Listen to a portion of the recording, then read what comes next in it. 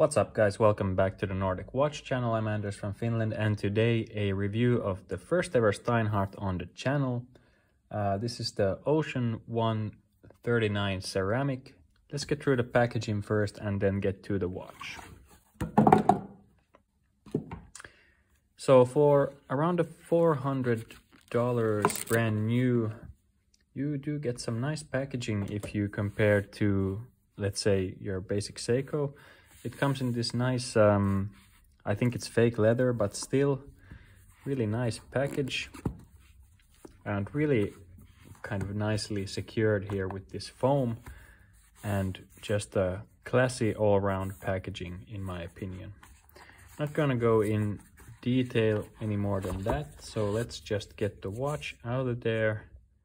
It's no secret that this thing looks a lot like the Rolex Submariner, and I'd say this is when you want a taste of the Rolex Submariner's timeless style, but you don't want to put down, let's say 10 grand to get one. And you maybe just want to see if this type of watch suits you or not. There are a lot of homages or tributes out there, but I'd have to say that this is one of the best value propositions out of the bunch. I bought this secondhand for around 300 euros and it was almost like new and I saw on the receipt that the guy I bought it from bought it for around 400 euros brand new from Steinhart directly. And the reason I went for this Submariner homage, if you will, is because of the case. It being uh, smaller than the real Submariner, that's something that really appeals to me.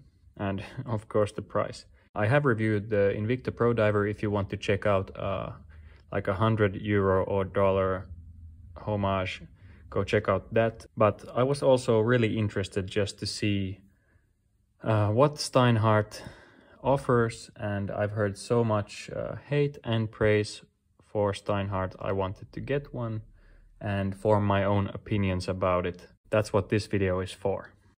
So let's just start out with the dimensions. We have a diameter of 39 millimeters uh, the lug to lug on this watch is 47.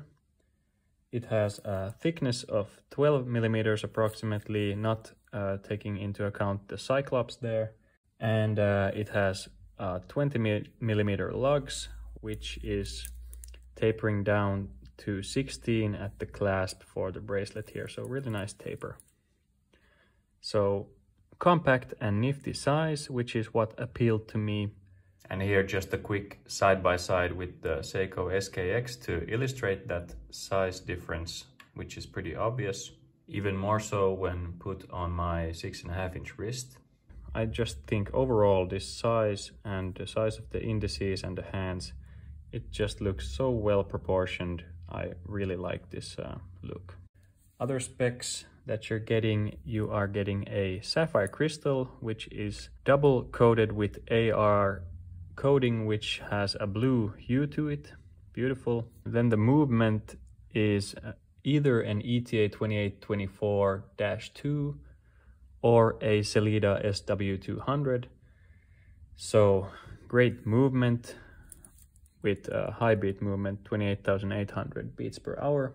300 meters water resistant, a professional diver, Swiss made on the dial, and you get a ceramic bezel, which is 120 click. So how's that for specs? I think it's actually ridiculous how much you're getting for this kind of money. And I have to say right off the bat that I'm really impressed and I did not expect this to be as good as it is. Uh, while we're talking about specs, I have to also comment on the bracelet. So we have a nice taper from 20 millimeters down to 16. We have a milled clasp, which is nice. And on top of that, we have screwed links and all the links, including the end links, are solid. So how's that for a bracelet for your money? The bracelet is polished on the sides and brushed on the top.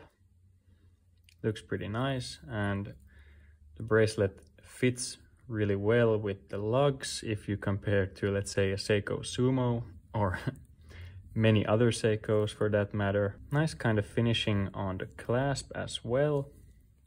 The clasp has four micro adjustments, which is plenty. As I said, milled clasp. Um, it's only friction based, but it does have a fold over lock mechanism with that uh, Steinhart there. Bracelet is also pretty quiet, not at all as jingly as a Seiko bracelet. Just everything about this watch has really impressed me so far. And there are very few things I dislike about this, but I will get to those later on in the video. The finishing on this watch seems to be pretty nice. We have polished sides on the case, then they're brushed on top of the lugs. Uh, we have a nice signed Steinhart crown with kind of a deep engraving there. The case back is that kind of a engraved seahorse with some kind of warrior there. It's pretty nice, but maybe a little bit underwhelming. Doesn't really do it for me, but catches the light pretty nicely. Uh, the bezel is pretty nice in my opinion. A bit of a downslope here and uh, the crystal comes ever so slightly just above the bezel. I'm not sure if that is such a good thing because I'm afraid that if you hit it really hard, it might crack. Not sure though. As I said, the bezel is 120 click unidirectional and this feels really crisp and uh, easy to turn. Kind of reminds me of the bezel on my Oris Aquis. Just really happy with it and it aligns. The bezel is this kind of, uh, well, it's a ceramic bezel, which I haven't had before to my knowledge. And the numerals are kind of nicely engraved there, reminding of the Submariner also. I have, however, noticed that I have an imperfection there on the number 3 on my bezel. I did not notice that when I bought this, so I must have hit this watch somewhere to make that mark. That's a bummer, but I'm pretty sure that did not exist when I bought it and it's a sign of use. But still, ceramic bezel, I'm kind of disappointed about that. I just actually noticed that. The dial is really timeless as of course with a Submariner homage. Nicely applied indices and the handset is also, well, reminiscent of the Submariner with that Mercedes hour hand. I really like that blue anti-reflective coating which is almost showing at all times and it makes this uh, crystal kind of disappear when looking at it from different angles like that. Really nicely done. The dial itself is uh, this kind of a matte black or dark gray maybe really kind of a sterile dial. And one thing I learned about this is that the 42 millimeter Ocean One actually has the same handset as this one, probably a way to keep costs down. So on the 42 millimeter Ocean One, the hands look quite tiny. And in my opinion, this is the right size of watch for these hands. So really nicely proportioned seconds and minute hand going all the way to the outer edge. We have a Cyclops there, which is magnifying the date window at 3 o'clock. Not sure about my opinion on that. I don't really have one. It doesn't disturb me. I know some people don't like Cyclopses. I don't mind. Seems to be aligned okay. And you can also, of course, remove a Cyclops if you want to, but I won't be doing that. And here's a quick loom shot and comparison with the Seiko SKX. As usual, it's never really a fair fight when you're up against uh, Seiko's LumiBrite, but the BGW9, I think that's on the Steinhart is blue and still pretty nice. I think the screw down crown is really nice. It has a kind of a firm pop out when you screw it out and really smooth to wind the movement. I'm not sure if it's an ETA or a Sellita. I'm pretty sure it's an ETA, but it's so weird that they don't include in the manual that is it a Sellita or ETA. They just uh, inform you that it's uh, one of those. I don't know how that's even possible to not say what movement it is and say, well, it's the same thing. Because, well, they might be similar, but it, I don't think it's the same thing. But yeah, pulled all the way out, of course, which is a pretty firm pull. We have hacking, the second hand stops. And there we go. All in all, really happy with the movement. Really smooth sweep on that second hand. All in all, great package.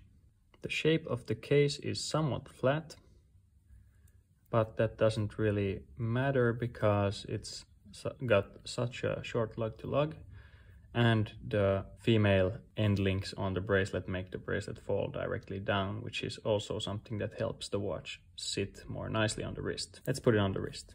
I'm gonna go ahead and say that this is the perfectly sized diver for my six and a half inch wrist. It's just really great proportions for my wrist. I love that taper down to 16 millimeters on the bracelet.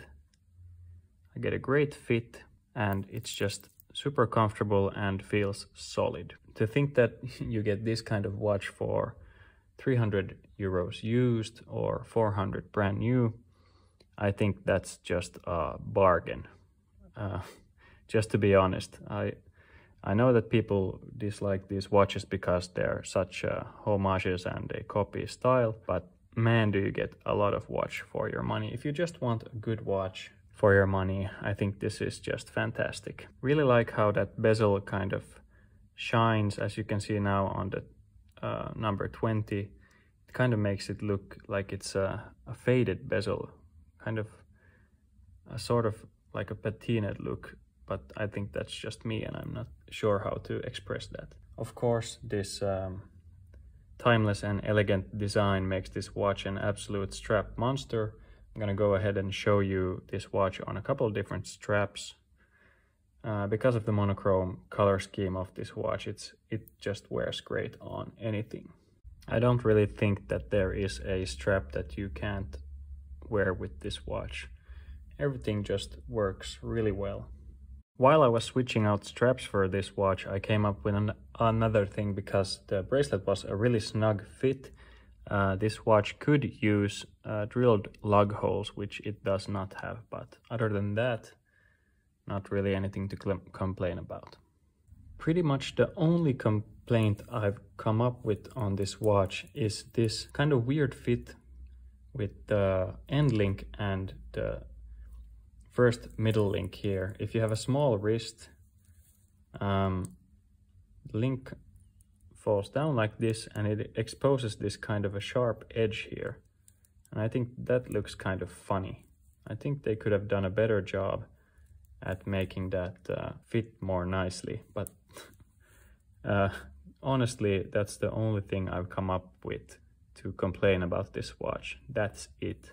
But yeah, that's what I had in store for this Steinhart Ocean One 39 ceramic. Just overall a great watch for the money and not at all a lot of negatives to say about the watch. Uh, I hope you liked the video and um, go check me out on Instagram at Nordic Watch Channel if you're interested. Uh, give this video a like, drop a comment down below, I always answer, and uh, yeah, I'll see you in a future video. Bye bye.